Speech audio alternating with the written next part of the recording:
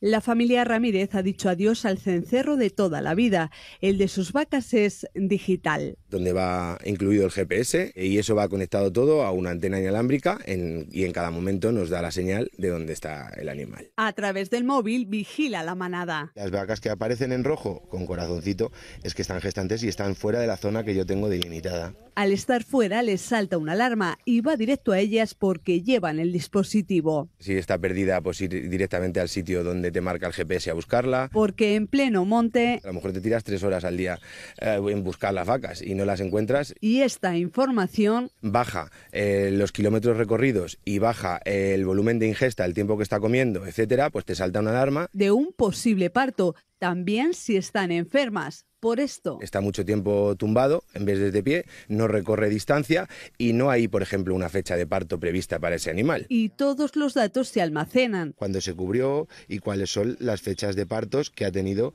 durante su recorrido. En la era digital, Alfonso ha dado carpetazo a la libreta de su padre. Que era ganadero, en una libretita apuntaba todo, luego no sabía dónde estaba la libreta. En Castilla-La Mancha, cinco explotaciones han apostado por el collar inteligente. Bienvenidos a la ganadería del futuro.